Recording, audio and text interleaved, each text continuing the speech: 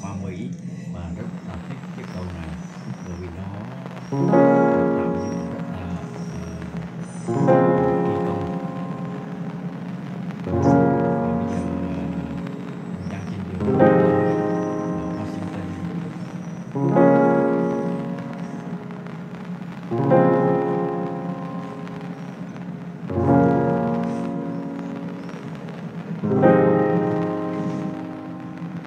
you.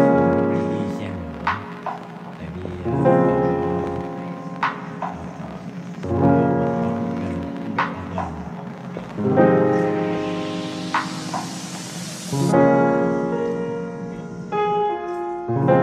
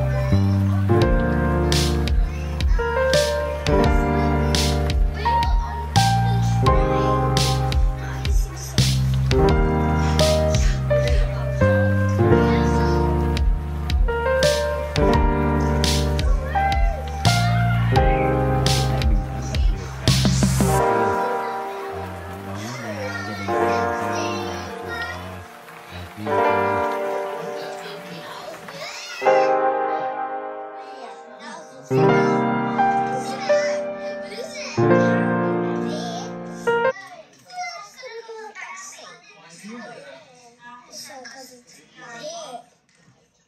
Jesse, it's a big.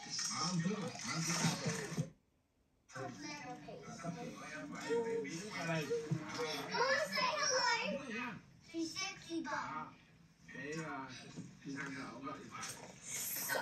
À, trên đường đi à, à, Trúc Kinh cũng có giới thiệu cho gia đình mình biết về à, khu của gia đình ông à, Bill Gates.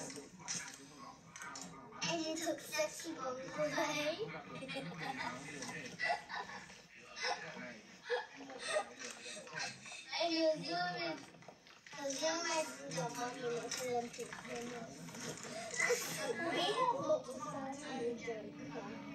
căn nhà chính của ông Bill Gates cũng ở à,